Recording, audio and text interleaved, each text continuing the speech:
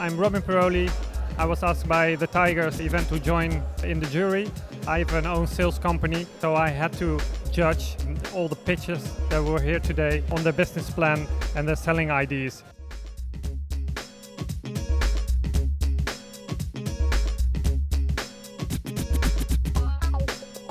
Great event. Thanks very much for organizing that. I wish it could be done every week, so it gives a lot of startups a chance to really showcase what they're doing, get customer validation very fast. Great idea to bring like minded people together to have this kind of uh, session.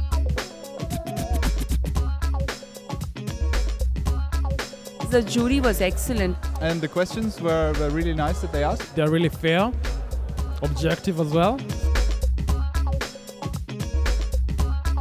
I like all the pitches. I think that all of them were, were nice. Uh, my favorite is Derek, the winner. I'm feeling great. I'm feeling really, really, really good. But uh, it was an unexpected outcome for me, so I'm really grateful about it. Come here and enjoy it. Be authentic, be yourself. Explain your idea. Believe in your dream. Yeah, start up.